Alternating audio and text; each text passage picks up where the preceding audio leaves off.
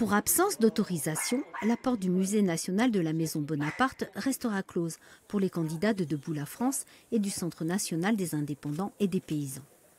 Il faut donc aux deux plus proches colistiers de Nicolas Dupont-Aignan trouver un autre endroit pour déposer leurs gerbes. La visite en Corse a commencé ce matin à Luciane, puis à l'aéroport de Poretta, face aux salariés d'Air France. Car selon Jean-Philippe Tanguy et Bruno Nors, l'Europe interdit la défense du service public. Cet après-midi, c'est au destin d'un grand homme qui tiennent à rendre hommage et rappeler ainsi leurs racines gaullistes et bonapartistes.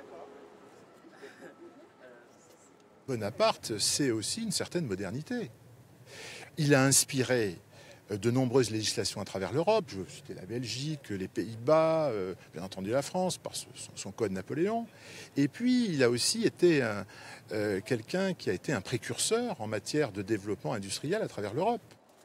L'objectif pour les deux candidats qui se déclarent proches des territoires, faire mieux qu'aux dernières élections, où Nicolas Dupont-Aignan avait recueilli 2,89% des suffrages en Corse. Aux dernières élections présidentielles, il faut dire qu'il y avait un candidat qui était très proche de nous, M. Jean Lassalle, euh, dont nous respectons les combats. Alors évidemment, il ne nous soutient pas pour cette élection, mais je pense que nos combats sont très proches, qu'il a fait un très beau score en Corse, et je suis sûr qu'il y a beaucoup d'électeurs, notamment euh, dans, la, dans, la, Corse des montagnes, de l'économie pastorale, qui se, comment dire, qui se reconnaîtra euh, dans les valeurs que porte debout la France pour ces élections européennes.